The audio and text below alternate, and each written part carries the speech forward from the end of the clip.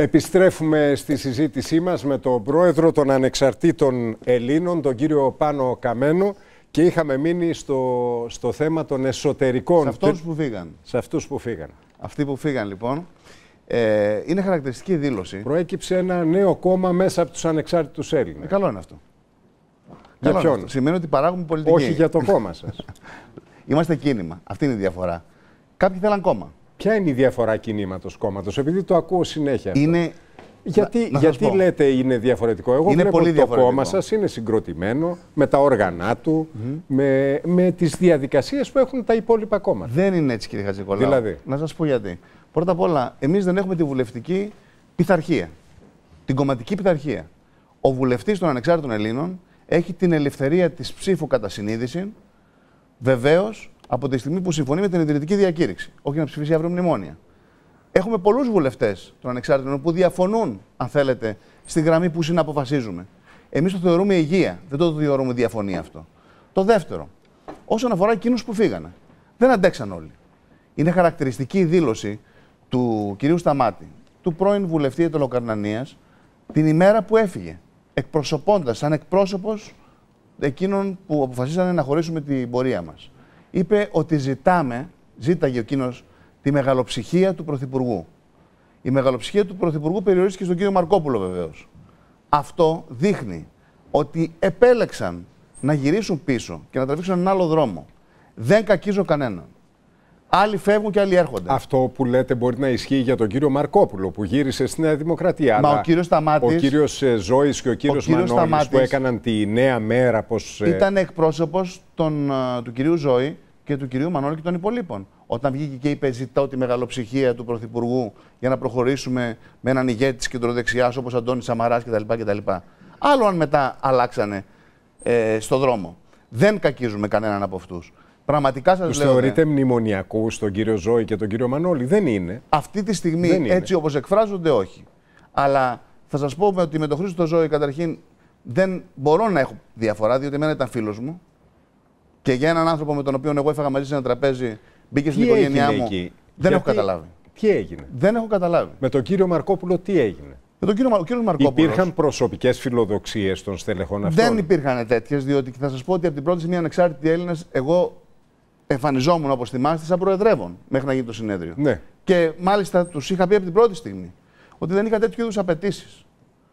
Και πραγματικά σας λέω, αν αύριο βρεθεί στο αντιμνημονιακό μέτωπο να, με τις πατριωτικές θέσεις που έχουμε εμείς, κάποιος καλύτερος από μένα, ας πάρει τα ενία. Η διαφορά μας είναι πολιτική. Εκεί λοιπόν που διαφωνήσαμε με τον κύριο Μαρκόπουλο ήταν ότι ο κύριος Μαρκόπουλος ήρθε κοντά στα μνημόνια. Ψήφισε όχι μόνο τα μνημόνια και τους νόμους των μνημονίων, αλλά ουσιαστικά και τις απαιτήσεις των δανειστών. Πάντως αυτοί οι 35 Αυτοί- τα απλά μέλη που φύγανε, που αυτοί δεν μπορεί να πει κανείς ότι έχουν και, να το πω έτσι, πολιτική ατζέντα φιλοδοξιών. Οι άνθρωποι ήταν μέλη Μα του ήταν κόμματος. διαφωνίες. Στελέχη του Όταν κόμματος. κάποιος κάνει Αυτοί like στο θεωρούν Κασιδιάρη. ότι μετατοπιστήκατε προς τα αριστερά, από ό,τι καταλαβαίνω. Όχι, κύριε Και Χατζηνικολάου. τους ενοχλεί, από ό,τι καταλαβαίνω, αυτή η κεντρώα Να αρχι- να τοποθέτηση αρχίσουμε έναν εξα- έναν και το έναν. φλερτ με το ΣΥΡΙΖΑ. Εάν θεωρείτε και Να σας πω, ας πούμε, όση ώρα μιλάμε, μου έχουν έρθει ένα-δυο μηνύματα από τα στελέχη αυτά που μου λένε, ρώτησε τον πρόεδρο. Πέστε μου ένα όνομα. Δεν έχω όνομα τώρα, έχω τα μηνύματα εδώ να, σας, τα σας δείξω. Πω, να σας πω εγώ επώνυμα. Έχω- Κύριε ε, Χατζικολάου, έχω εδώ να σας πω επώνυμα. μηνύματα η πολλά. κυρία Κοντέα η οποία έφυγε, Παράδειγμα, έκανε, μου λένε, ρώτα ναι, τον. έκανε like Τι θα κάνεις στις στον δημοτικές; κύριο Κασιδιάρη. Ε, δεν γίνεται να είναι στους Έκανε ανεξάρτητους like Έλληνες. τον κύριο Κασιδιάρη. Βεβαίως. Και με σχόλια υπέρ της Χρυσής Αυγής. Δεν γίνεται. Δεν γίνεται. Εάν πιστεύαν ότι οι ανεξάρτητοι Έλληνες είναι ένα κίνημα το οποίο θα συμπορευτεί κάποια στιγμή στο όνομα του αντιμνημονίου με μια νεοναζιστική παράταξη, δεν γίνεται. Αυτό δεν υπάρχει. Πάντως εδώ με ρωτούν, για παράδειγμα, Πέστε τι μου θα... το ερώτημα.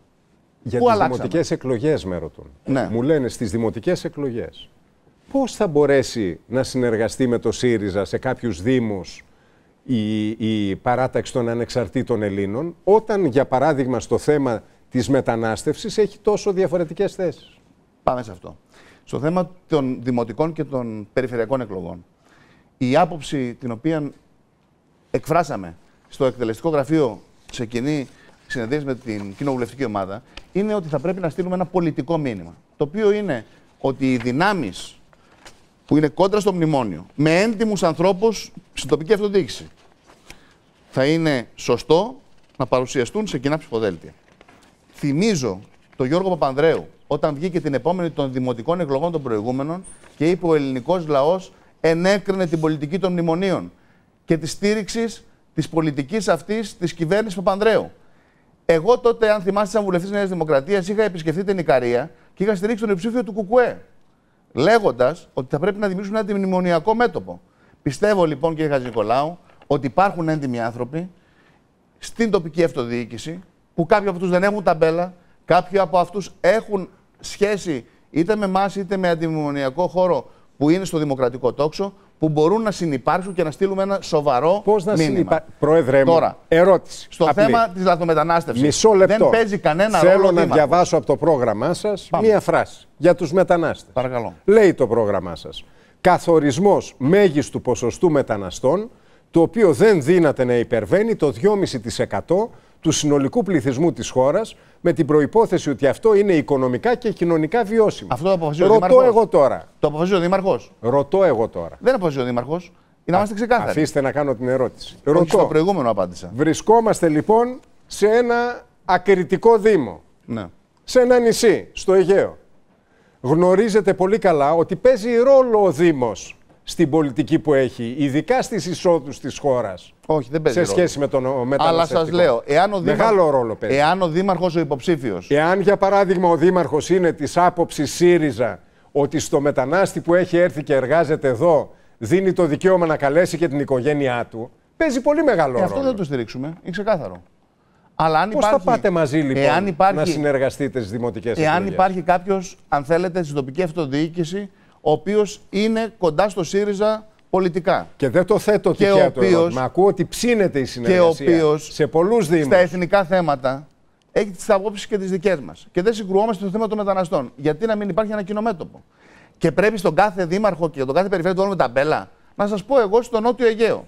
Θα σας πω και μία είδηση. Σε κάποιον άνθρωπο που δεν έχει αποδεχθεί ακόμα. Ναι. Του έκανα πρόταση να κατέβει υποψήφιος και θεωρώ ότι επειδή ήταν από τους καλύτερους δημάρχους στην α, νησιωτική Ελλάδα, να μπει επικεφαλής σαν υποψήφιος περιφερειάρχης στην α, περιφέρεια Νοτιού Αιγαίου. Το δήμαρχο των Λιψών. Προερχόμενος από το πατριωτικό Πασόκ της ομάδας των Ιταλών. Την ομάδα Χαραλαμπίδη. Δεν έχω να χωρίσω κάτι στα εθνικά μαζί του, ούτε στη λαθρομετανάστευση. Εάν αυτός ο άνθρωπος πει μπροστά και τον στηρίξουν περιφερειακοί σύμβουλοι του αντιμνημονιακού τόξου, άνθρωποι που στη Ρόδο, στην Κο, στην Κάλυμνο προέρχονται από τη Νέα Δημοκρατία. Είναι Γιατί και η να μην Χρυσή βγει Αυγή λοιπόν. στο αντιμνημονιακό τόξο. Όχι, η Χρυσή Αυγή είναι εκτός δημοκρατικού τόξου.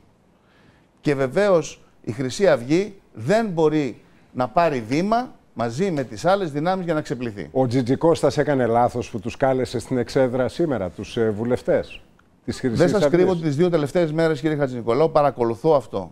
Αυτό το επεισόδιο. Θεωρώ καταρχήν ότι ο Περιφερειάρχης, ε, ο κύριος Τζικώστας, παρότι εμείς είχαμε αποφασίσει ότι δεν θα το στηρίξουμε, στο λέω ξεκάθαρα, Ναι. από τη στιγμή που είναι στη Νέα Δημοκρατία μέλος και δεν φεύγει από τη Νέα Δημοκρατία, ε, έκανε αυτό το οποίο το επιβάλλει το πρωτόκολλο.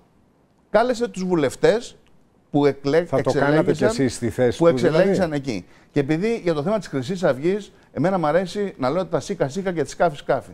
Είμαι ο πρώτος που δεν κάθισε στα πάνελ όπως θυμάστε από το παρελθόν με χρυσαυγίτες. Αυτό όμως έχει να κάνει με την πολιτική στάση του κόμματος αυτού. Είναι ένα ναζιστικό κόμμα για μένα, το οποίο δεν ανήκει στο δημοκρατικό κύκλο. Είναι όμως από την άλλη μεριά η δημοκρατία που θα πρέπει να επιδείξει ιδιαίτερα σε αυτούς που δεν σέβονται τη δημοκρατία να εμφανιστεί περισσότερο δημοκράτες. Να τους καλεί να γιορτάσουμε Όχι. τη νίκη κατά να μην του τους καλεί να φασισμού. γιορτάσουν. Αν Μαζί. ήθελαν να τους βγάλουν στην παρανομία, θα έπρεπε καταρχήν ο Άριος Πάγος πριν από τις εκλογές να τους απογορεύσει να κατέβουν. Το δεύτερον, για την απαγόρευση χρηματοδότησης των κομμάτων. Θα έπρεπε η αρχή για το ξέπλυμα μαύρου χρήματος ή ο δικαστής που έχει τη δυνατότητα να τους μπλοκάρει τους λογαριασμούς.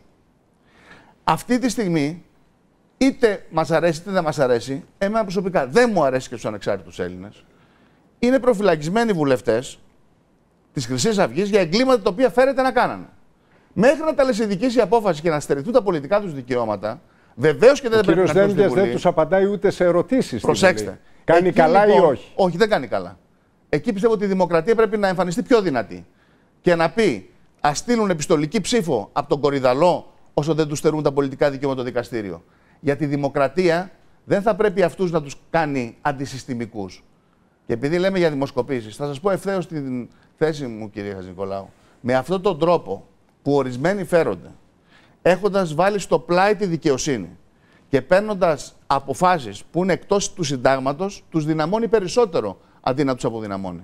Επομένως, μου λέτε ότι στη θέση του Τζιτζικώστα θα κάνατε το ίδιο, ότι θεσμικά λειτουργήσε σωστά. Εγώ ότι έπρεπε ότι τύπης... ο κ. Τζιτζικώστας, χωρίς να έχει καμία εντολή από το Υπουργείο Εσωτερικών ή από το Υπουργείο Δικαιοσύνης ή τον εισαγγελέα, ώστε να μην τους καλέσει, είχε την υποχρέωση να ακολουθήσει το πρωτόκολλο. Μάλιστα. Τώρα, επειδή είπε κλιματική ομάδα το Πασόκ, εγώ δεν διαφωνώ ότι το Πασόκ είναι εγκληματική ομάδα. ομάδα. Αν θέλετε. Το Πασόκ. Βεβαίως, τσελέχη του Πασόκ. Γιατί το λέτε αυτό; Το λέω αυτό διότι. Επειδή, επειδή ο κύριος Τσοχατζόπουλος καταδικάστηκε, είναι όλο το Πασόκ. Ε. Δεν είναι μόνο ο κύριος Τσοχατζόπουλος. Είναι όλα εκείνα τα στελέχη, ναι. όπως ο κύριος Τσουκάτος, όπως ο κύριος Μαντέλης, όπως ο κύριος Παπαντονίου, όπως όλοι αυτοί οι οποίοι εμπλέκονται σε όλες αυτές τις απάτε που Η προσωπική ευθύνη μπορεί να γίνεται συλλογική. Γιατί τους καλύπτανε; Ο κύριος Βενιζέλος, ο σημερινός πρόεδρος του Πασόκ, θα σας θυμίσω στην εξεταστική για τους Στόρμι 1, μας έκανε και επιδείξαμε τότε στον αέρα.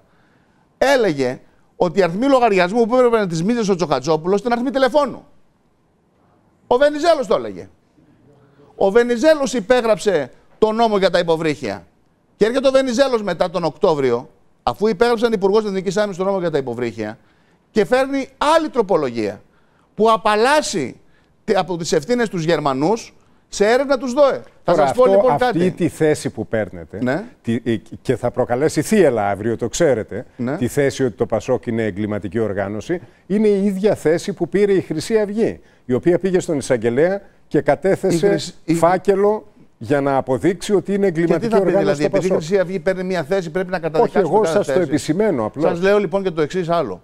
Εμείς δεν συνεργαστήκαμε ποτέ με τη Χρυσή Αυγή όταν η Νέα Δημοκρατία έκανε δημόσιες προ... προσκλήσεις. Σε μια ψηφοφορία είχατε ψηφίσει μαζί. Όχι, ψηφίσαν αυτοί μαζί μας. Αυτό θέλω να πω. Ναι. Ότι όταν παραπέμψαμε τον Γιώργο Παπανδρέου και στήσαμε την κάλπη, κατηγορηθήκαμε επειδή οι Χρυσαυγίτες ψηφίσανε και εκείνη την παραπομπή. Θα σας θυμίσω όμως ότι 84 βουλευτές τότε, οι περισσότεροι από τη Νέα Δημοκρατία, συμπεριλαμβανομένου και του Καραμαλή, που ο ίδιος ο πρώην Πρωθυπουργός ψήφισε σε αντίθεση με αυτό που έκανε ο Σαμαράς και οι Σαμαροφύλακες στην κάλπη για την παραπομπή του Παντρέου, δεν ξέρω αν ψήφισε ναι ή όχι. 84 βουλευτές ψηφίσαν την παραπομπή. Η Χρυσή Αυγή είναι μια ναζιστική οργάνωση. Είναι κλιματική οργάνωση από ό,τι φαίνεται και θα καταδικαστεί από τα δικαστήρια. Αυτό είναι δεδομένο.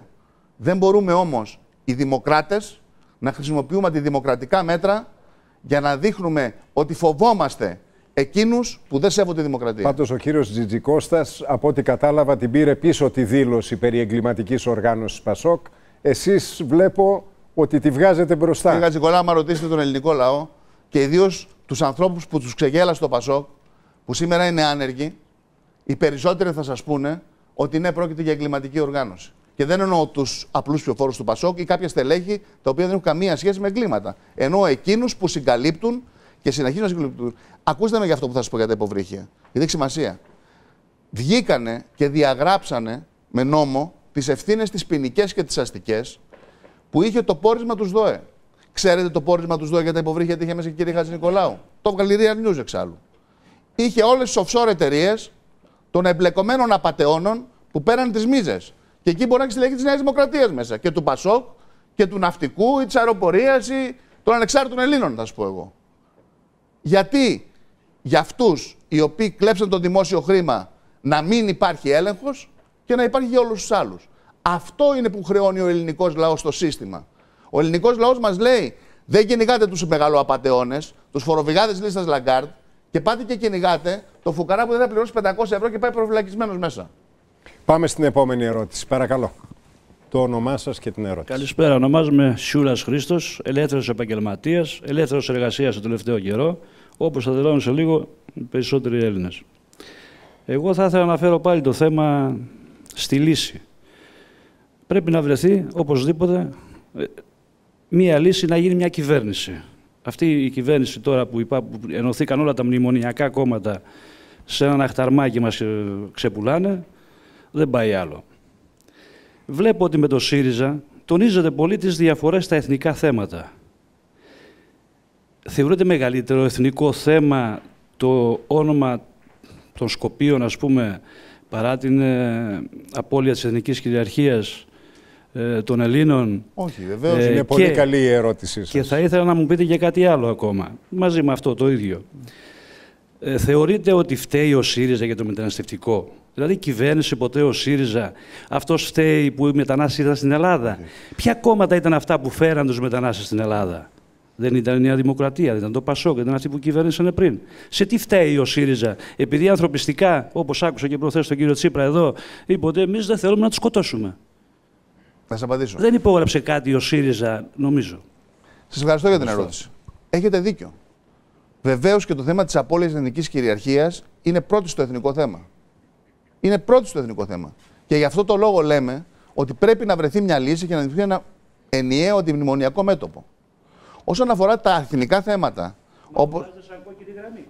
Το θέμα της Μακεδονίας, του ονόματος της Μακεδονίας, μια κυβέρνηση η οποία δεν συμφωνεί να κάνει παραχώρηση της ονομασίας, νομίζω ότι μπορεί να κρατήσει τη στάση που κρατήσαν μέχρι τώρα οι ελληνικές κυβερνήσεις. Στο θέμα της Τράκης, στο θέμα του νέου σχεδίου Ανάν. Μια κυβέρνηση που δεν έχει την πλειοψηφία να προχωρήσει, δεν είναι ανάγκη να συμφωνήσει επ' αυτών των θεμάτων άμεσα στο θέμα της λαθρομετανάστευσης. Εγώ θα σας πω ότι, σαν Υφυπουργός Εμπορικής Ναυτιλίας, είμαι περήφανος για τα στελέχη του λιμενικού σώματος που διέσωσαν παιδιά και εγγύους γυναίκες από τα νερά του Αιγαίου.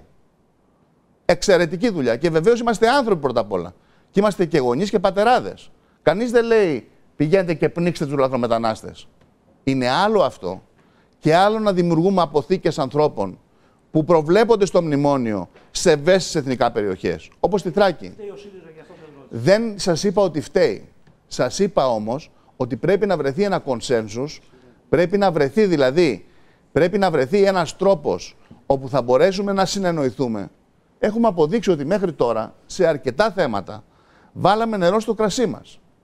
Θέματα τα οποία, παραδείγματος χάρη για το ΣΥΡΙΖΑ, αποτελούν κόκκινες γραμμές και τα οποία δεν ενοχλούν εμάς, θα τις δεχτούμε. Αλλά στα θέματα που έχουν να κάνουν με τα εθνικά, δεν θα συνενέσουμε και αυτή, αν θέλετε, είναι, αυτός είναι και ο λόγος σε κάποιον ψηφοφόρο να μην ψηφίζει ΣΥΡΙΖΑ να ψηφίσει ανεξάρτητους Έλληνες και σε μια αντιμνημονιακή κυβέρνηση εμείς να είμαστε η εγγύηση ότι αυτά δεν θα περάσουν. Στο θέμα των λαθρομεταναστών θα σας πω το εξής.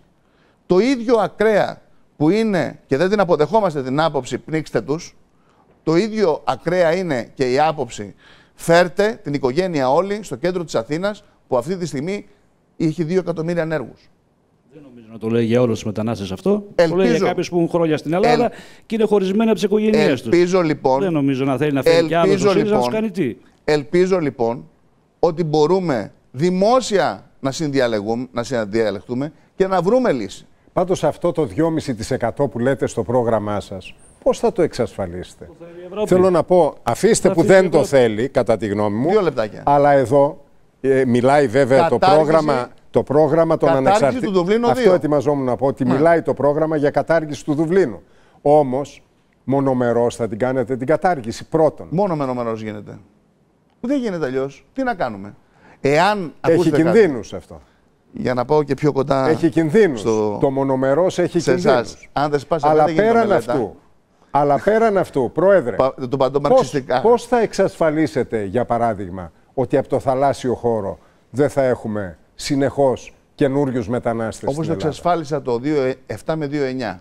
Δεν, δεν θυμάστε ότι το 2007 είχαμε 300 με 400 λαθρομετανάστες που μπαίναν στη Μυτιλίνη, στη Σάμο, στην Κο; Γιατί σταμάτησαν να μπαίνουν αυτά τα δύο χρόνια; Γιατί κλείσαμε τα κέντρα λαθρομεταναστών στη Μυτιλίνη, στη Σάμο, στη Χίο, στην Κο, με αποτέλεσμα ουσιαστικά να ξέρουν ότι δεν υπάρχει ελπίδα εκεί. Αλλά εδώ Θέλω να πω ότι τα μέτρα που πρέπει να πάρουμε, εγώ πιστεύω ότι με διάλογο μπορεί να γίνουν δεκτά και από άλλες δυνάμεις και της αριστεράς, που έχουν μια ιδιαίτερη ευαισθησία.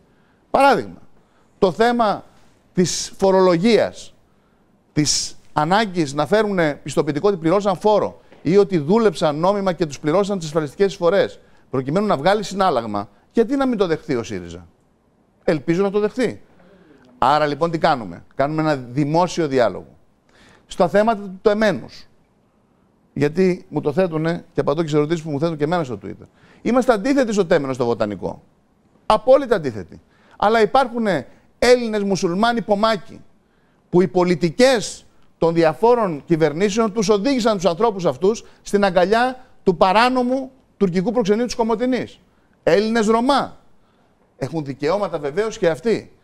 Και εδώ θα πρέπει να δούμε ποιος είναι ο ρόλος όλων μας ως πολίτες. Το όνομά σας και την ερώτησή σας. Ε, Αχιλέας Γεωργινής, καλησπέρα. Ε, θα μου επιτρέψεις να σου μιλήσω στον ελληνικό, όπως ε, ορίζει και η Ελεύθερα. Είναι επιτρέπεται εδώ. Ωραία. Ε, θέλω να κάνω δύο ερωτήσεις. Ε, ξεκινώντας την πρώτη, θέλω να πω ότι σε παρακολουθώ από τις αρχές του 2012 και πραγματικά δεν έχω απογοητευτεί γιατί δεν, έχετε, δεν έχεις αλλάξει απόψη σου. Όμως, θα είχες την επιλογή να παρατηθείς εάν άλλαγες, άλλαζες μία ή δύο από αυτές τις θέσεις στο μέλλον και η δεύτερη ερώτηση είναι Πολλοί πιστεύουν ότι οι Έλληνες είναι σκλαβωμένοι από τους Γερμανούς, από τους Αμερικανούς, δεν, δεν ήμασταν ανεξάρτητοι. Η ερώτησή μου είναι, θα συμμετείχε σε μια σύμπραξη λαού στρατού, όπως είπαν οι έφεδροι, γιατί με βάση το 120 άρθρο του συντάγματος η κυβέρνηση δεν παρέχει τα απαραίτητα για τους πολίτες. Ένα-ένα. Αυτό το δεύτερο δεν το κατάλαβα Το εγώ. κατάλαβα Θέλω εγώ. ερώτηση... Ε, όχι, εγώ δεν το Θα κατάλαβα. το εξηγήσω. Θε... Έγινε μία. Την ερώτηση; Ε, Ναι, να σας ναι. εξηγήσω. Ναι. Τι σύμπραξη λαού στρατού δηλαδή; Δηλαδή, όπως έγινε στην Αίγυπτο, Ναι. ο στρατός. Πραξικόπημα δηλαδή. Όχι. Σύμπραξη λαού με τον στρατό. Δηλαδή, ο στρατός Ναι. μαζί με τον λαό να κατέβουν στον δρόμο ώστε να διώξουν την κυβέρνηση που δεν μπορεί να παρέχει αυτά που Να πρέπει να διώξουν την παρέχει. κυβέρνηση χωρίς εκλογές. Ακριβώς. Δηλαδή να κατέβουν με τα όπλα. Γιατί έχει καταληθεί το Σύνταγμα. Μάλιστα. Δύο λεπτά. Του Ε, παίρνω το μικρόφωνο με τα όπλα. τον παρεξηγήσαμε. Ποιον; Θα σας πω Καθόλου. γιατί. Υπάρχει μια ιστορία. Όχι απλώς δεν τον παρεξηγήσαμε, Κύριε αλλά Χατζηνικολάου, έδωσε και το παράδειγμα της Αιγύπτου Πήρα- για να είμαστε σίγουροι. Πήρανε μια πρωτοβουλία οι έφεδροι πριν από 15 μέρες. Και μάλιστα ήταν λόγος. Βλέπω, ε, ε, πρόεδρε μου, σε βλέπω ότι σου αρέσει το, το σενάριο. Συγκέντρωσης, στο, συγκέντρωσης στο Σύνταγμα. Και μάλιστα ήταν ο λόγος που συγκρούστηκα με κινήματα που μας στήριζαν, γιατί θέλανε να ενισχύσουν με την παρουσία τους τους εφέδρους στη διαμαρτυρία που θα κάνουν. Όχι για να κάνουν πραξικόπημα βεβαίως. Πιστεύω ότι είναι επικίνδυνο σε μια χώρα που έχει ζήσει στρατιωτική χούντα η εμπλοκή των ενόπλων δυνάμεων και των στελεχών των ενόπλων δυνάμεων σε τέτοιες διαδικασίες. Θεωρώ ότι το άρθρο 120 του Συντάγματος αφορά μόνο τους πολίτες. Και πρέπει να προστατεύσουμε τις ένοπλες δυνάμεις από τέτοιου είδους θεωρίες. Οι ένοπλες δυνάμεις έχουν την ευθύνη της προστασίας της εθνικής κυριαρχίας της χώρας όσον αφορά τον εξωτερικό εχθρό. Δεν θα πρέπει οι ένοπλες δυνάμεις να συμμετέχουν σε τέτοιου είδους διαδικασίες, ούτε αν θέλετε και με κάποιους που πιστεύουν με δημοκρατικά κριτήρια ότι θα πρέπει να διαμαρτυρηθούν. Διότι παρεξηγείται. Σε μια χώρα που 7 χρόνια είχε χούντα συνταγματαρχών.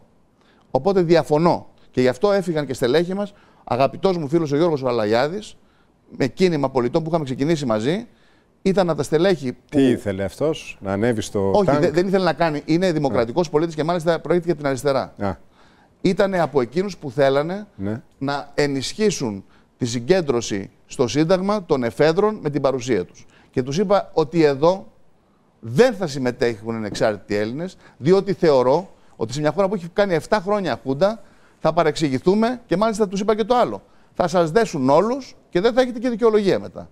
Το άρθρο όμως 120 του Συντάγματος, ναι, το επικαλούμαστε. Γιατί μιλάμε για συντακτική εθνοσυνέλευση. Συντακτική εθνοσυνέλευση για να γίνει σημαίνει ότι ο λαός πρέπει να αποφασίσει για το νέο σύνταγμα.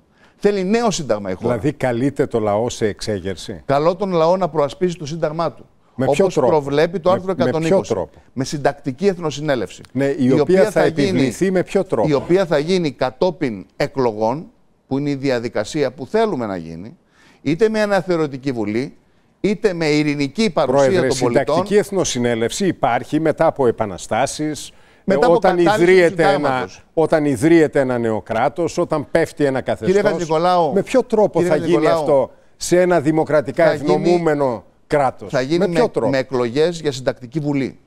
Οι οποίες Οι οποίες θα πώς, προκηρυχθούν. πώς θα ονομαστούν, πώς οι θα, οποίοι- οι πώς θα οποίες θα προσλάβουν προκηρυχθούν αυτό το περιεχόμενο; Λόγω του ότι το Σύνταγμα έχει καταληθεί. Εμείς λέμε ξεκάθαρα.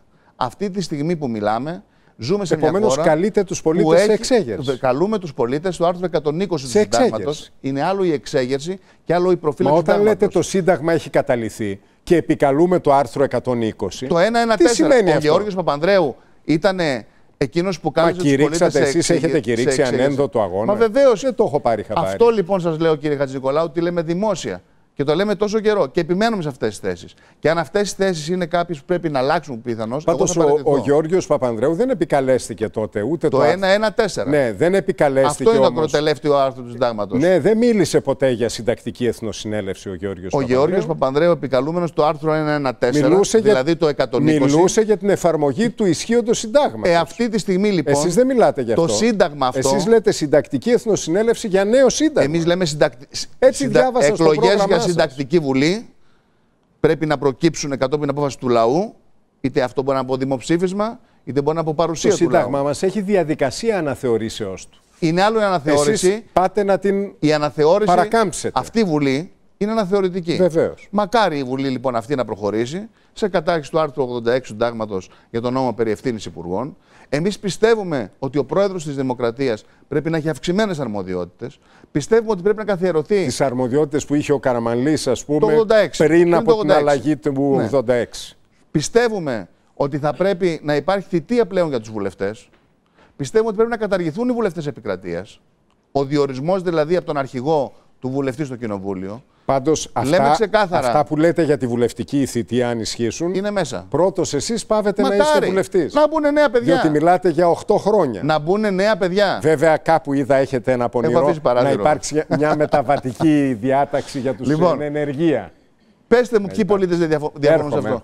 Και να σας πω και κάτι άλλο. Δεν είναι δυνατόν να έχουμε υπουργούς διορισμένους χωρίς να έχουν εκλεγεί από τον ελληνικό λαό. Εμείς λέμε λοιπόν, όλοι οι εδώ υπουργοί. Ο, ο Χρήστος ο Μπάρλας, ο συνεργάτης μου από το κοντρόλ, μου λέει: Θέλω κι εγώ μια ερώτηση. Μήπως μου θέλει. λέει θέλει συντακτική εθνοσυνέλευση μέσω Twitter και Facebook; Κοιτάξτε κάτι. Μέσω Twitter και Facebook ξεκίνησαν οι αγανακτισμένοι Έλληνες.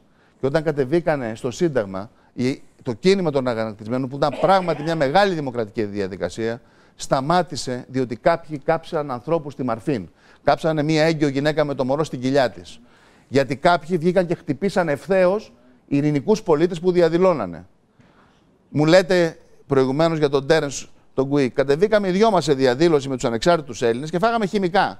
Βγήκε από τη δημιουργία από πίσω δίθεν κουκουλοφόρος. Πάντως ο Γκουίκ ακούει ΣΥΡΙΖΑ και Μα βγάζει εξανθήματα όλος. Μας έριξε, ορίστε. Λέω ακούει ΣΥΡΙΖΑ και βγάζει εξανθήματα. Εντάξει, αλλά προσέξτε, Ενώ εσείς πριν... του ρίξαν χημικά. Γιατί; Γιατί κάποιοι είναι προβοκάτορες και δεν θέλουν ο ελληνικός λαός να κινητοποιήσει το άρθρο 120 του συντάγματος και να διαφυλάξεις την εφαρμογή του. Υπάρχει σύνταγμα όταν γίνεται με πράξη νομοθετικού Είστε περιεχομένου. πάντως γενικά σε μια επαναστατική φάση. Θέλω να πω πριν από λίγο καιρό ε, έγινε μεγάλος δώρος με τη δήλωσή σας περί λιντζαρίσματος σε πάχτα. Και πήγα να με πάνε. Είστε σε επαναστατική να φάση. με βάλουν, προσέξτε γιατί η εξέγερση που μου λέγατε, με αυτή τη διαδικασία πήγα να με πάνε. Να μας βγάλουν και εμάς την παρανομία. Ε, όταν, όταν βγαίνετε και λέτε στους πολίτες να τον λιντσάρετε... Ποιος είπε στους πολίτες; Εκεί τους είχατε μαζεμένους γύρω σας, ρωτούσαν πώς έγινε. Πώς Υπάρχει έγινε; μια διαφορά. Όταν ένας πατέρας πέντε παιδιών, ο μεγάλος μου γιος έχει την ηλικία τη δική, του γιου του δικού σας και η μικρή μου κόρη είναι 1,5. Όταν ένας πατέρας πέντε παιδιών... Και σε αυτό κοντά είμαστε. Ακούει, γι' αυτό λέω. Έχουμε... Λοιπόν, όταν λοιπόν αυτά τα παιδιά πρέπει να ζήσουν σε μια κοινωνία όπου το κράτος επιτρέπει. Η κοινωνία έχει στο θεσμούς, δήμαρχο, κύριε Πρόεδρε. Έχει στο δήμαρχο, τον κύριο Πάκτα. Έχει εισαγγελέα. Ακούστε με, ο εισαγγελέας όμως τι κάνει; Έρχονται οι μανάδες λοιπόν και μιλάει ο πατέρας τις μανάδες. Και του λένε οι μανάδες, βοηθήστε μας. Πίνουν τα παιδιά μας νερό με αρσενικό. Από το χέρι και στον εισαγγελέα; Ποιον εισαγγελέα. Σας λέω εισαγγελέα. λοιπόν ότι τον κύριο Πάκτα και του ελληνικού χρυσού έχω Μπορεί κάνει να μήνυση λέτε πρόεδρος 20 μέρες πριν. Λιντζα...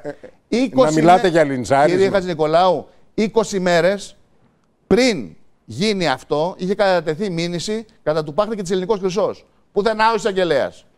Εμένα με χτυπήσανε. Στο κερατσίνι. Πουθενά ο εισαγγελέα. Όταν του έκανε tweet ο Μουρούτης, ο εισαγγελέας παρενέβη. Όταν λοιπόν το κράτος κάποιοι το καταλύουν για να βγουν άλλες δυνάμεις, την ευθύνη ανατροπής τη δημοκρατίας την έχουν εκείνοι. Και θα σας πω κι άλλο ένα. Πώς μπήκε η Χρυσή Αυγή μες στο παιχνίδι; Η Χρυσή Αυγή μπήκε στο παιχνίδι με δύο διαδικασίες. Η πρώτη διαδικασία είναι το κράτος ήταν απόν. Όταν δεν βγάζει το κράτος του δημοτικούς αστυνομικούς που καταργεί για να ελέγξει το παραεμπόριο. Και όταν ο άλλος ο έμπορος ψυχοραγεί γιατί βλέπει το μαγαζί του άδειο και περιμένει στην πόρτα να μπει να σταυρώσει πελάτη, και δίπλα ο άλλος με τον πάγκο πουλάει, την ευθύνη την έχει το κράτος που αποσύρει το δημοτικό αστυνομικό και αφήνει το παραεμπόριο και χώρο στον άλλο να πάει να κλωτσίσει τον πάγκο και να τον κάνει δημοφιλή. Πάντως από το, το κλωτσάω το μπάγκο μέχρι το λέω στους πολίτες να λιτζάρουν το μπάχτα επειδή Σε μια ιδιωτική συζήτηση πατέρας προς μανάδες. Να σας πω κάτι.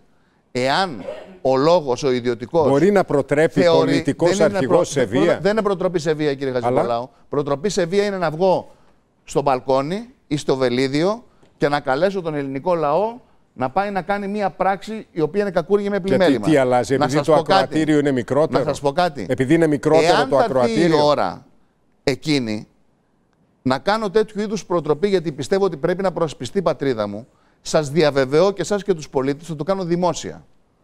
Και ας με συλλάβουν. Πάντως είδα και πριν η επίκληση του άρθρου 120. Δεν μπορεί να προχωρήσει αυτή η κατάσταση άλλο. 2.100.000 οικογένειες είναι άνεργες.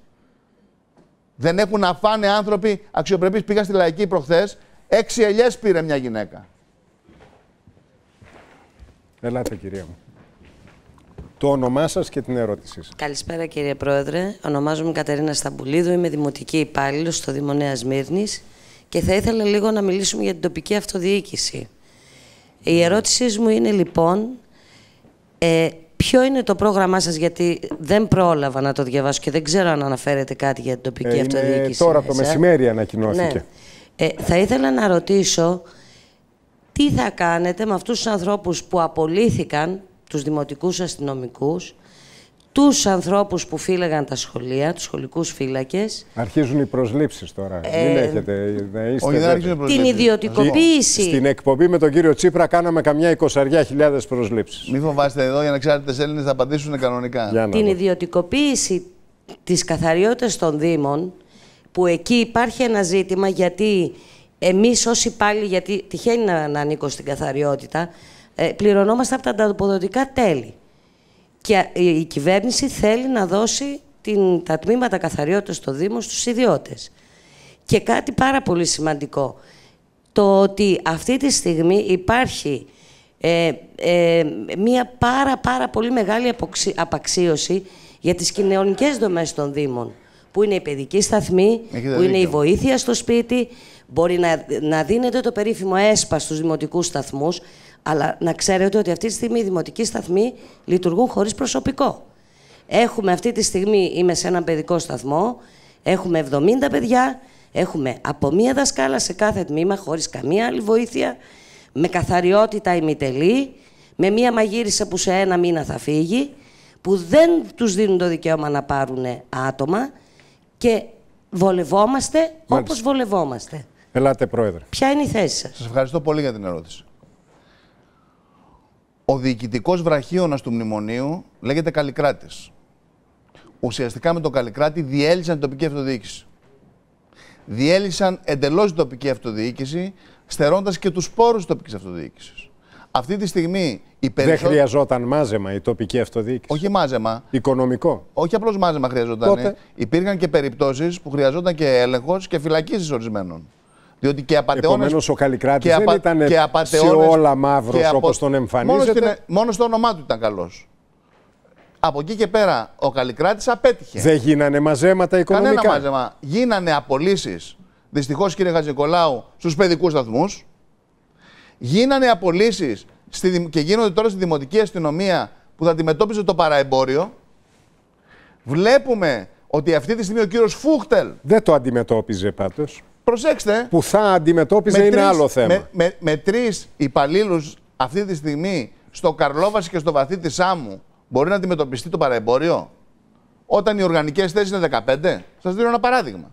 Λοιπόν, τι έκανε ο Καλλικράτης, ουσιαστικά διέλυσε τοπική αυτοδιοίκηση. Ήρωες είναι οι περισσότεροι δήμαρχοι, αλλά τι γίνεται αυτή τη στιγμή; Έχουμε τον επιτετραμένο της Γερμανίας, κυρίας Μέρκελ, στην Ελλάδα, τον κύριο Φούχτελ, ο οποίος γυρίζει τους Δήμους της Ελλάδος όχι για να βοηθήσει και να πει το γερμανικό μοντέλο, αλλά για να κάνει business για τα σκουπίδια. Ουσιαστικά δηλαδή διαλύουμε τοπική αυτοδιοίκηση, μαραζώνουν τα πάντα στην πόλη και εγκαταλείπονται ουσιαστικά δομές όπως τα ε, νηπιαγωγεία, η παιδική σταθμή και αυτοί κοιτάνε το πόσο διαλυμένος αυτός Δήμος για να σωθεί θα πουλήσει τα σκουπίδια του στην γερμανική εταιρεία που εκπροσωπεί ο κύριος Φούχτελ στην Ελλάδα. 69 δήμαρχοι, εμείς δεν θα στηρίξουμε κανέναν από αυτούς. Την προηγούμενη εβδομάδα. Μα γι' αυτό λέτε κάνει συνεχώς περιοδίες. Πήγανε ε. στη Γερμανία. Είναι πλασιέ Α, το ο κάνει, κύριος business, Φούχτελ. ε, business κάνει. Πλασιέ. Business. Πλασιέ είναι. Μάλιστα. Πλασιέ. Και είναι πλασιέ επιτετραμένος ενός κράτους της Ευρωπαϊκής Ένωσης σε άλλο κράτος το οποίο είναι εθνικά κυρίαρχο. Αυτό είναι η κατάρριξη εθνικής κυριαρχίας. Και στην τοπική αυτοδιοίκηση επίτηδες τη διαλύουν. Εγώ συναντώ δημάρχους σε όλη την Ελλάδα όπου πηγαίνω. Οι άνθρωποι είναι στα όρια πλέον της επιβίωσης. Δεν έχουν να πληρώσουν μισθούς. Και τελικά οι πολίτες τα βάζουν με τους δημάρχους. Το ίδιο συμβαίνει με τους περιφερειάρχες. Έχουμε κάνει μια πρόταση κοστολογημένη το πώς θα έχει πόρους η τοπική αυτοδιοίκηση. Δεν πιστεύουμε ότι θα πρέπει τέτοιου είδους κοινωνικές ε, προσφορές Βέβαια που την κάνει... κοστολόγηση στο πρόγραμμά σας Να- δεν την να το- έχετε. όχι, είναι η κοστολόγηση Ούτε για μέσα. αυτά που σας ρώτησα πριν. Είναι η κοστολόγηση Εγώ είδα, για την τοπική κατέβασα. αυτοδιοίκηση. Πρόεδρέ μου, κατέβασα ό,τι έχετε αναρτήσει στο Κύριε διαδίκτυο. Χατζηνικολάου, για την τοπική- 70 σελίδες. Για την τοπική- Οικονομικά στοιχεία δεν έχει. Προσέξτε λοιπόν. Εκτός αν τα ανεβάσετε αύριο. Να Στον τα δούμε. τομέα διοικητικής μεταρρύθμισης Α πούμε το πόσο θα ηλεκτρονικής κοστίσει η περικοπή των ε, φόρων, εγώ δεν το είδα πουθενά στο πρόγραμμά σας. Λοιπόν, προσέξτε. Στον τομέα της τοπικής αυτοδιοίκησης έχουμε μιλήσει ακριβώς για το πώς πρέπει να προχωρήσουν οι διαδικασίες για το σύστημα λειτουργίας, για τις προαγωγές, για το ΑΣΕΠ, για την εκπόνηση της μελέτης διατήρησης κάθε νομικού πρόσωπου ιδιωτικού δικαίου, για την εκπόνηση της μελέτης βιωσιμότητος, για την υποχρεωτική σύνταξη και κατάθεση προγράμματος προσέντηξη των δικών στοιχείων, για τις επιδοτήσεις από το ΕΣΠΑ, διότι τα μεγάλα κονδύλια τα παίρνουν από το ΕΣΠΑ. Τι είπε προηγουμένως η κυρία που μας ρώτησε. Τα λεφτά που πήραν από το ΕΣΠΑ για τους παιδικούς σταθμούς, ξέρετε τι κάνανε; Αντί να πάρουν από το ΕΣΠΑ τα λεφτά και να τα δώσουν στους παιδικούς σταθμούς, πραγματικά, πήραν τα λεφτά από το ΕΣΠΑ και έκαναν διορισμούς. Οι περισσότεροι που διορίστηκαν δεν είναι στα σχολεία και στους παιδικούς σταθμούς. Ε, να Εκεί, ξέρετε λοιπόν, κι εσείς και μιλάμε οι... για μάζεμα. Να ξέρετε κι εσείς και οι θεατές μας, όση ώρα μιλάμε, είναι τέτοια η συμμετοχή ε, που έχουμε σήμερα, που περνούν συνεχώς από κάτω με κρόουλ τα SMS που στέλνουν οι πολίτες με τα σχόλιά τους για τη συζήτηση και τις ερωτήσεις τους, που έχουν εξαιρετικό Και ενδιαφέρον. το οποίο Τα εγώ δεν τα βλέπω, οφείλω να τους πω, μη μου πρέπει να ρωτάνε. Τα συλλέγω και σε ορισμένα θα απαντήσετε. Να κάνετε Ναι, ναι, το τελείωμα. ναι. Απλά ήθελα να πω ότι ε, δε- ε, δεν θα ήταν πολύ άσχημο να τιμωρούνται όλοι οι δήμοι. Εγώ δεν διαφωνώ όταν κάποιος κάνει ε, κάποια οικανο- οικονομική παρανομία σε ένα δήμο να τιμωρείται και ο δήμαρχος και όσοι συμμετέχουν. Δεν, ε- δεν είναι όμως λάθος δήμοι οι οποίοι δεν έχουν πρόβλημα, οι οποίοι προσφέρουν στο δημότη, προσφέρουν στους υπαλλήλους τους, να τιμωρούνται και αυτοί. Μα ξεκάθαρα. Με το καινούριο πρόγραμμα το οποίο έχει Ό- πει η ό- κυβέρνηση. Όταν το ΕΣΠΑ, αντί να πηγαίνει εκεί που χρειάζονται τα χρήματα οι πολίτες, πηγαίνει αλλού, δηλαδή αντί να παίρνει 10 εκατομμύρια ευρώ ο αδελφός του Πρωθυπουργού στη μη κυβερνητική οργάνωση που προείσταται για την προστασία των φοινίκων από το, κίνη- από το κόκκινο σκαθάρι, 10 εκατομμύρια ευρώ πήρε. Με 10 εκατομμύρια ευρώ δουλεύανε σε όλη την Αττική όλοι οι παιδικοί σταθμοί. Πάντως επειδή έχετε πρόγραμμα είναι- για τον τουρισμό, η προστασία του Φίνικα από το κόκκινο σκαθάρι θα σας πούνε και στην ΚΟ και στην Κρήτη Ε, όχι, ότι κύριε είναι σοβαρή Νικολάου. ιστορία. Εντάξει. Δεν ξέρω πόσα εμένα χρήματα τα χρειάζεται. μωρά, Δεν το ξέρω. Τα μωρά που πεινάνε στη Νέα Σμύρνη Πρόεδρε και μου, στα... πρόεδρε μου, ενδιαφέρουν συ- είναι συμφωνώ με αυτό προτεραιότητα. που λέτε, αλλά μην υποτιμούμε... Ας μην πάρει 98 το εκατομμύρια το ότι- Μέγαρο Μουσικής. Το ότι η εικόνα... Δεν διαφωνώ σε τίποτα από αυτά που λέτε. Λέω όμως, ας μην είμαστε Α ισοπεδωτικοί. σώσουμε τα παιδάκια Δηλαδή- και ας φάει και το σκαθάρι με τα λεφτά. Εντάξει. Ε, ένα, η Ναι, ναι. προτεραιότητα Πάντως είναι. την ημέρα που θα δείτε για παράδειγμα την ΚΟ με όλους τους φίνακε, φίνικες ε, ξεραμένους, το θέαμα δεν θα είναι Άμα καλό. δω του μπανιασμένα για τα τον παιδιά στη τουρισμό. Νέα Σμύρνη, προτιμώ να δω την ΚΟ χωρίς Ναι, φίνικες να μην λέμε παρά τα παιδιά του υπερβολές. μπανιασμένα. Να μην λέμε Έτσι υπερβολές. είναι. Να μην λέμε υπερβολές. Να την πείνα. Παρακαλέσω, ελάτε. Καλησπέρα κύριε Πρόεδρε. Πάνω Σαρακινός, καθηγητής μαθηματικών. Και λίγο τα μαθηματικά μου δεν βγάζουν μερικά πράγματα.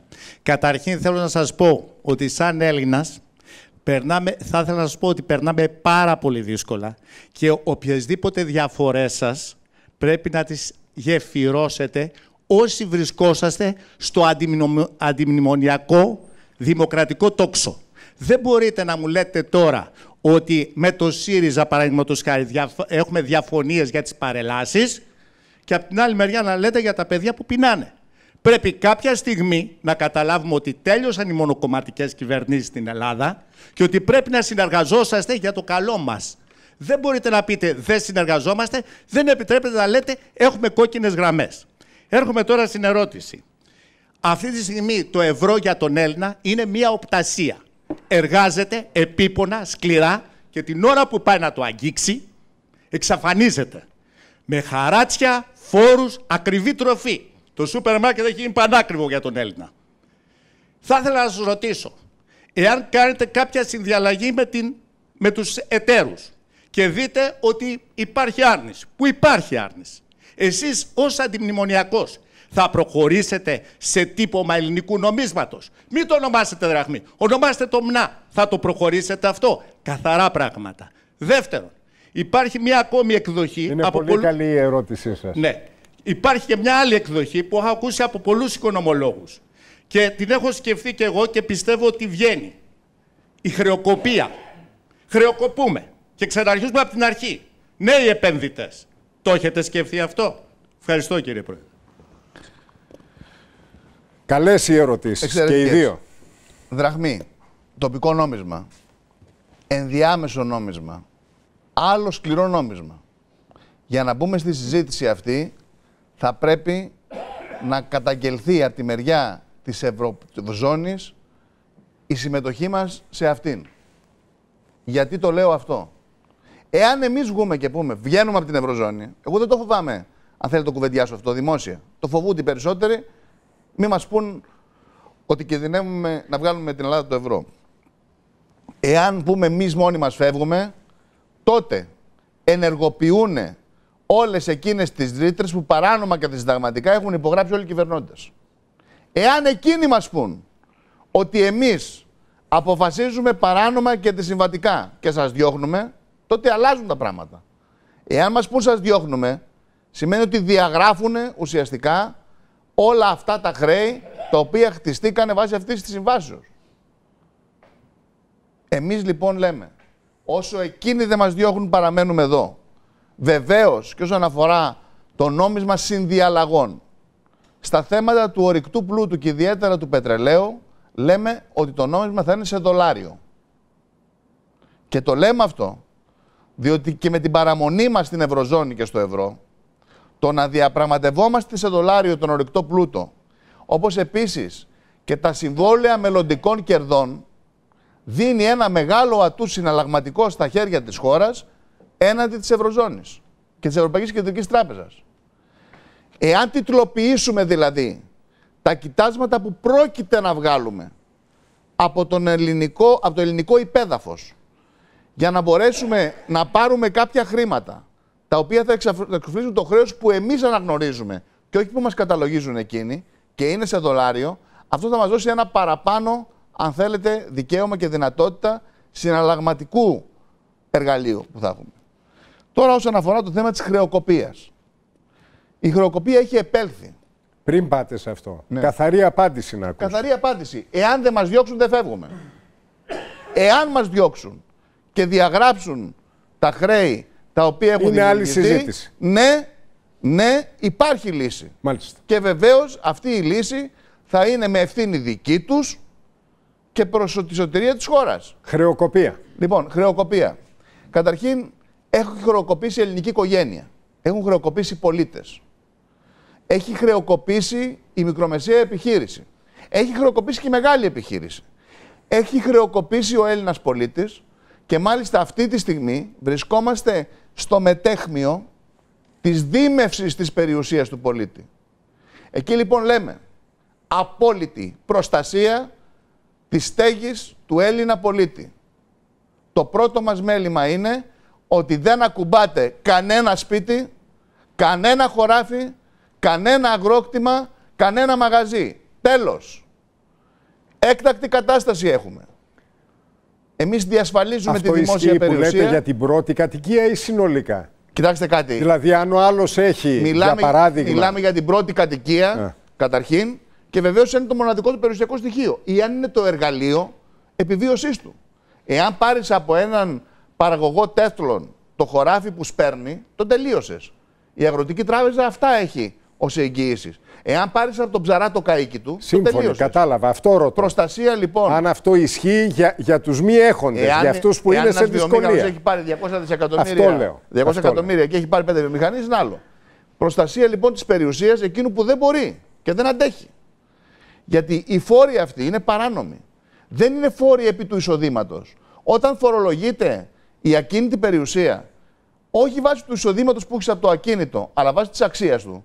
Εδώ μιλάμε η οποία είναι ήδη φορολογημένη. Η οποία είναι ήδη φορολογημένη και δεν, δεν επιφέρει και αποτέλεσμα. Το αποτέλεσμα δεν είναι να χάσουμε όλοι τα σπίτια μας. Ακόμα και εκείνοι που έχουν μια μεγαλύτερη περιουσία. Εδώ λοιπόν μιλάμε για πλήρη προστασία. Χρεοκοπία λοιπόν σημαίνει δικαίωμα αυτού που χρεοκόπησε, όπως γίνεται με το άρθρο 99 για τις επιχειρήσεις, για τους πολίτες. Απόλυτη προστασία των Ελλήνων πολιτών. Και εδώ πρέπει να συμφωνήσουν όλοι.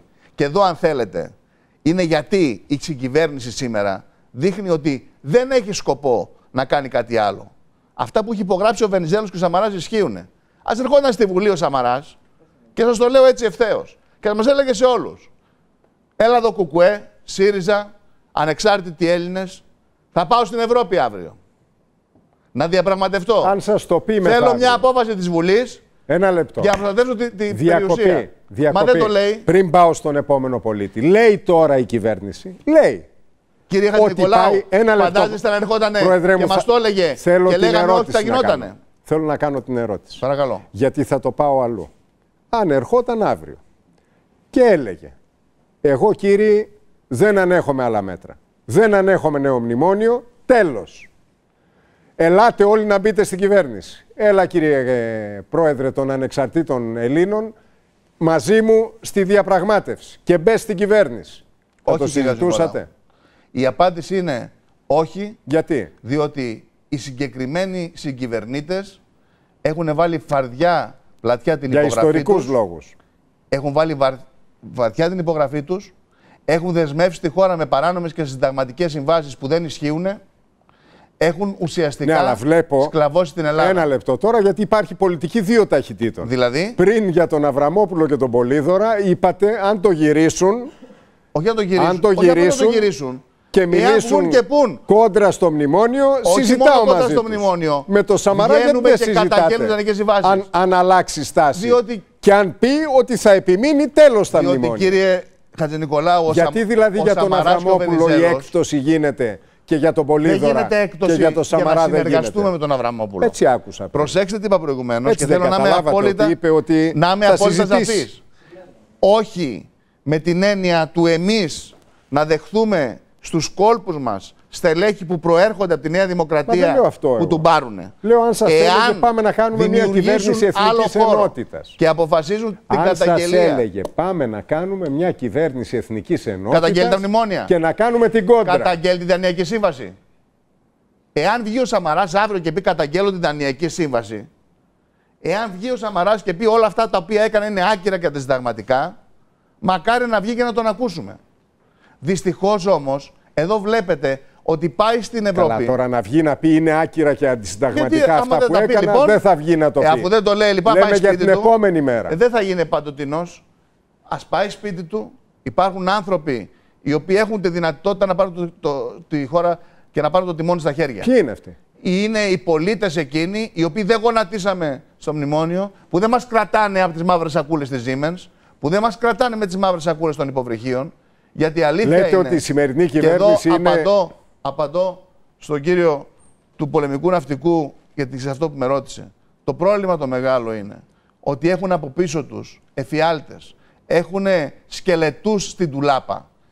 Και αν αλλάξανε, άλλαξε σε μία νύχτα. Ο Σαμαράς μέχρι το προηγούμενο βράδυ έλεγε το λάθος φάρμακο, η λάθος συνταγή. Το φάρμακο που σκοτώνει τον ασθενή. Και μέσα σε λίγες ώρες βγήκε και γονάτισε. Και υπέγραψε τα μνημόνια. Και σκλάβο στην πατρίδα. Και έκανε τη λάθος συνταγή και ο ασθενής πεθαίνει. Αυτόν θα πιστέψουμε τώρα. Ελάτε. Το όνομά σας και την ερώτηση. Καλησπέρα και από μένα. Λέγομαι Φρουζάκης Δημήτρης.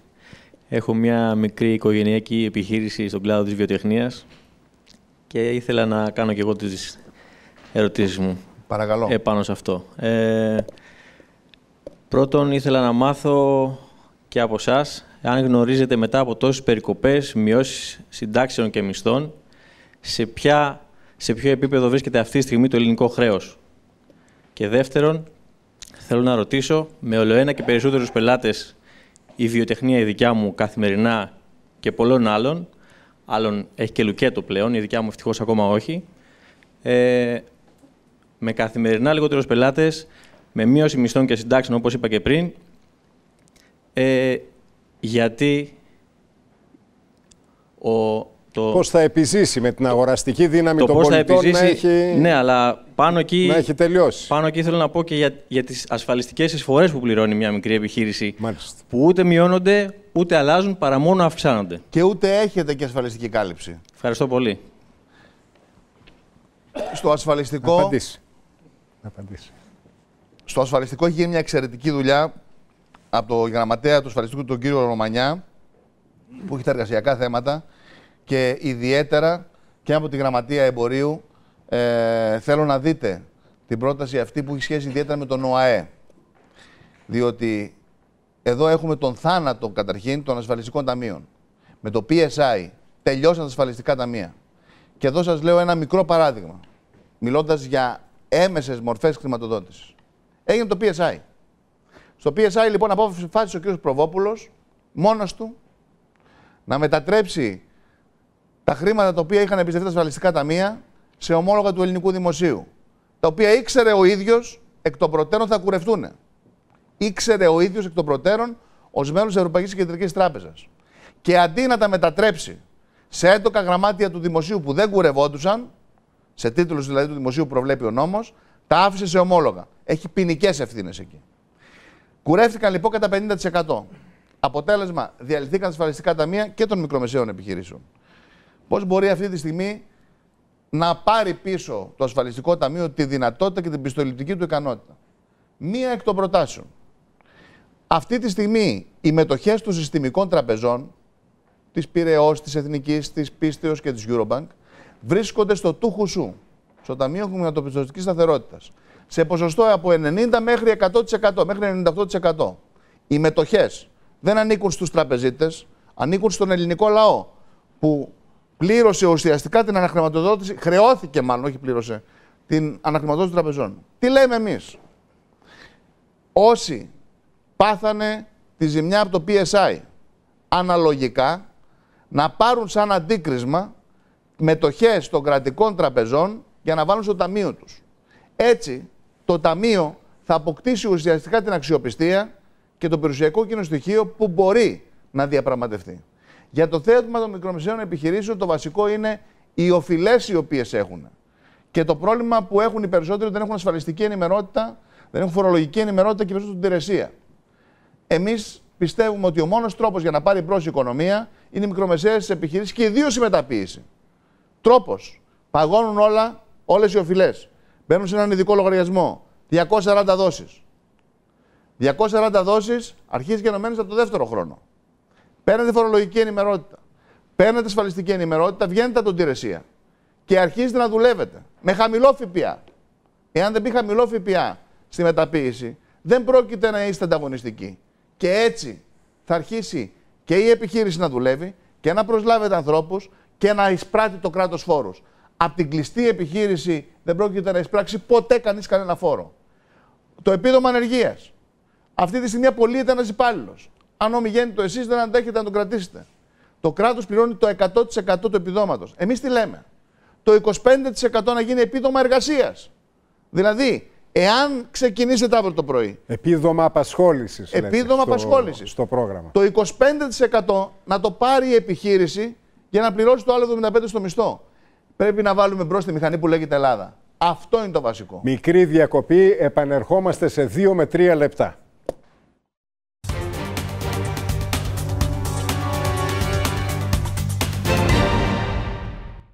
Νητσιάκος. 40 χρόνια στα Γιάννενα με σεβασμό στην παράδοση. Υγιεινά κοτόπουλα με μεράκι στην παραγωγή. Σήμερα η εταιρεία Νητσιάκος φέρει στο πιάτο σας ελληνική γαλοπούλα και κουνέλι. Η ποιότητα είναι υποχρέωσή μας. Νητσιάκος. Ό,τι καλύτερο. Και τι κάνεις? Πούσκα σε μετάφραση. Στα ρώσικα και χρειάζομαι βοήθεια. Μια μεταφραζούλα είναι. Вам шлем оливки тромба, да? Да. Телевекспорт из Греции в Москву. Εντάξει, ευχαριστώ Βαγγέλη. Άντε γεια. Ψυχούλα Βαγγελάκης. Τώρα δεν θα σταματάς να μιλάς με τους συνεργάτες σου. Γιατί με τα νέα προγράμματα OT Business Double Play έχεις απεριόριστες κλήσεις προς ενδοητερικά κινητά και σταθερά, έως 500 λεπτά προς εθνικά κινητά και business internet με ταχύτητες έως 50 Mbps. Μόνο από 34 ευρώ το μήνα. Γιατί η επιθυμία σου για οικονομία στην επιχείρησή σου είναι για μας έμπνευση. ΟΤΕ μαζί είμαστε ένα. Ένας υπέροχος κόσμος διασκέδασης και ψυχαγωγίας σας περιμένει στο Regency Casino Θεσσαλονίκη. 24 ώρες το 24ωρο, 7 ημέρες την εβδομάδα, το Regency Casino Θεσσαλονίκη προσφέρει τα καλύτερα παιχνίδια με τις αυστηρότερες διεθνείς προδιαγραφές. Ζήστε τη μαγεία του παιχνιδιού στα 910 slot machines και τα 74 τραπέζια ρουλέτας, blackjack και punto banco. Για μια πιο ξεχωριστή εμπειρία, λειτουργεί και ειδική αίθουσα VIP, το Club Regency.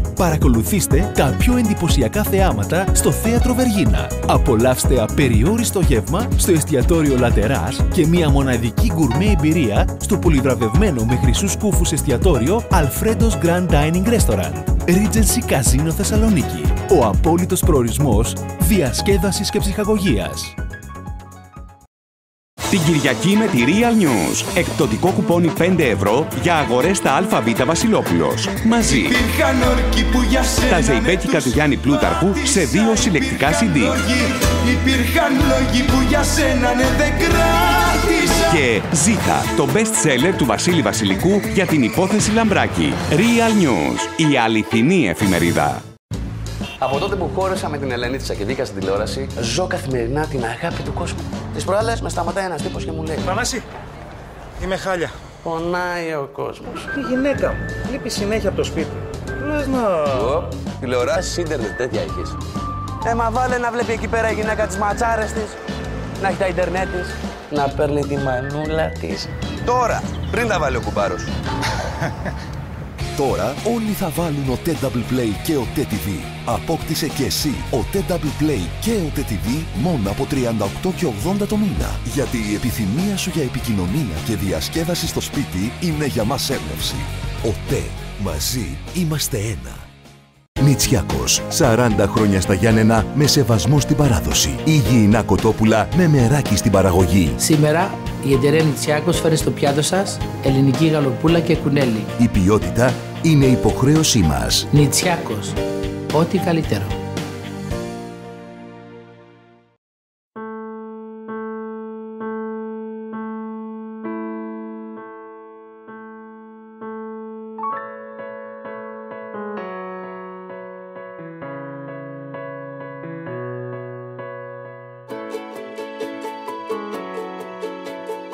Για τον καθένα, ελευθερία σημαίνει κάτι διαφορετικό. Για εμάς στην Τράπεζα Πυραιός σημαίνει να έχεις και το κεφάλαιο σου ελεύθερο και υψηλές αποδόσεις με την προθεσμιακή κατάθεση απόδοση και ελευθερία. Με τη σιγουριά της Τράπεζας Πυραιός. Τράπεζα Πυραιός. Σταθερή γιατί κινείται. Έλα, Βαγγελάκη, τι κάνεις? Πούσκα σε μετάφραση. Στα ρώσικα και χρειάζομαι βοήθεια. Μια μεταφρασούλα είναι. Вам шлем оливки тромба, да? Да. Телевекспорт из Греции в Москву. Εντάξει, ευχαριστώ, Βαγγέλη. Άντε, γεια. Ψυχούλα Βαγγελάκης. Τώρα δεν θα σταματάς να μιλάς με τους συνεργάτες σου. Γιατί με τα νέα προγράμματα OT Business Double Play έχεις απεριόριστες κλήσεις προς ενδοητερικά κινητά και σταθερά, έως 500 λεπτά προς εθνικά κινητά και business internet με ταχύτητες έως 50 Mbps. Μόνο από 34 ευρώ το μήνα. Γιατί η επιθυμία σου για οικονομία στην επιχείρησή σου είναι για μας έμπνευση. ΟΤΕ μαζί είμαστε ένα.